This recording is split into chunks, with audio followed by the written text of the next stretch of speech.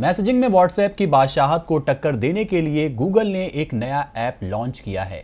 इस messaging app को company ने एलो नाम दिया है। गूगल ने इस ऐप को ग्लोबली लॉन्च किया है और ये iOS और एंड्रॉयड दोनों के लिए भी उपलब्ध है। गूगल ने 2016 में ही अपनी आईओ डेवलपर्स कॉन्फ्रेंस में एलो को लॉन्च करने की बात कही थी। इस मैसेजिंग की खास बात यह है कि इसमें अपना सर्च इंजन और गूगल असिस्टेंट है। इस ऐप को इस्तेमाल करने के लिए आपको व्हाट्सएप की ही तरह अपना मोबाइल फ़ोन नंबर ऐड करना होगा। इस ऐप को गूगल प्ले से इंस्टॉल किया जा सकता है। इसके लिए आपको गूगल प्ले स्टोर पर गूगल एलो सर्च करना होगा। एलो की एक और ख़ास बात यह है कि आप इसके अंदर रहते हुए भी गूगल सर्च कर सकते हैं। इसके लिए आपको ऐप के बाहर ब्राउज़र पर जाने की ज़रूरत भी नहीं पड़ेगी। आप एट द रेट गूगल लिख कर इस ऐप के अंदर ही कुछ भी सर्च कर सकते हैं। आप इस ऐप के ज़रिए अपने मैसेज की समय सीमा भी तय कर सकते हैं।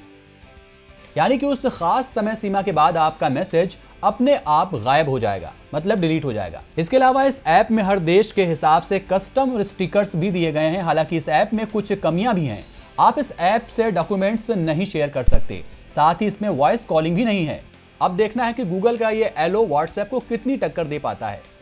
गूगल ने मई में दो नए मोबाइल ऐप लॉन्च करने की घोषणा की थी।